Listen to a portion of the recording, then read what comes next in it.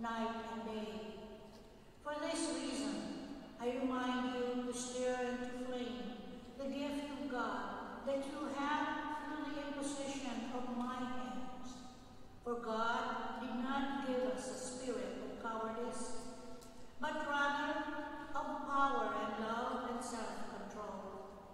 So do not be ashamed of your testimony to, to our Lord, nor of me, a prisoner for his sake, but bear your share of hardship for the gospel with the strength that comes from God.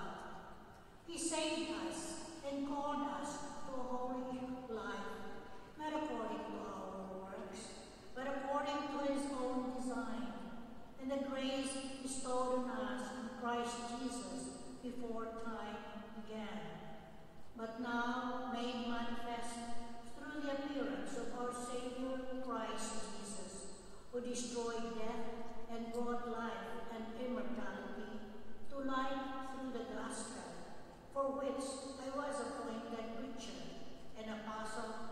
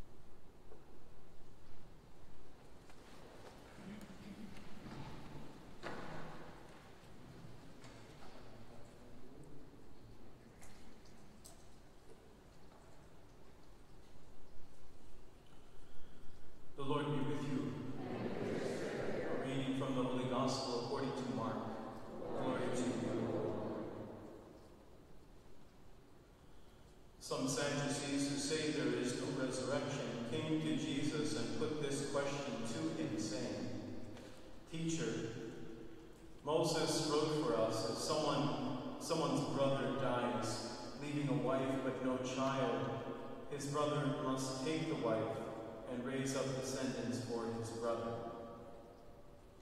Now there were seven brothers. The first married a woman and died, leaving no descendants. So the second brother married her and died, leaving no descendants, and the third likewise. And the seventh left no descendants. Last of all, the woman also died. At the resurrection, when they arise, whose wife was she? For all seven had been married to her.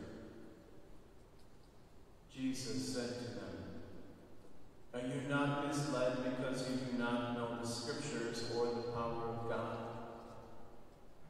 When they rise from the dead, they neither marry nor are given in marriage, but they are like the angels in heaven.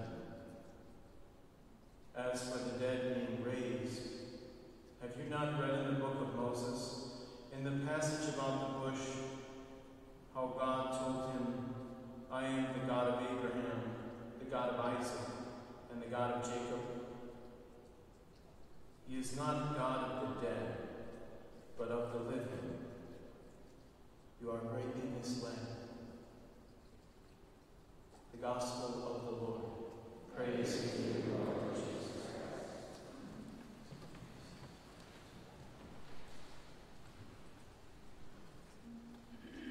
We'll have to endure hardships in this life and difficulties. The Lord never pulls any punches on this aspect. He doesn't hold back and tells us what we'll have to suffer for the kingdom. And many of us, I'm sure most of us, if not all of us, have experienced those difficulties. And often, maybe at the hands of those closest to us, or the mouths of those closest to us. Sometimes it can lead us into this kind of questioning, maybe not this group. It can lead people to question. You know, there's all kinds of if God was good then, right, statements. I hear this especially from young adults. Then why suffer? Then why this? Then why did I have to go through that? But Jesus doesn't want us to stay in our death. He wants us to look forward to life. Because in desolation, consolation will soon return. St. Paul even says, bear your level of hardships, right? Bear your hardships for the gospel. It's going to happen. People will talk about you. People will make fun of you. You know, Charles Lwanga, he wanted to teach catechism to the boys who were under his care, and the king was taking advantage of them. So he told them, don't go with them. And I would say that many of them resisted him because if they wouldn't have, he wouldn't have looked upon Charles Lwanga and wanted to kill him. We have to take courageous steps as Christians. We have to take those bold steps that make us so uncomfortable. To correct someone,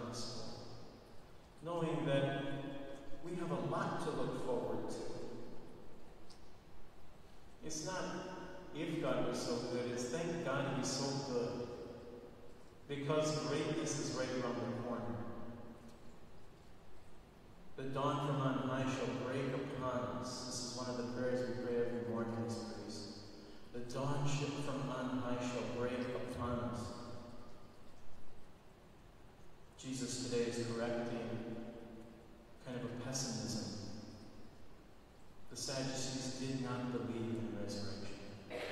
They thought they found proof with marriage, right? And Jesus says, no,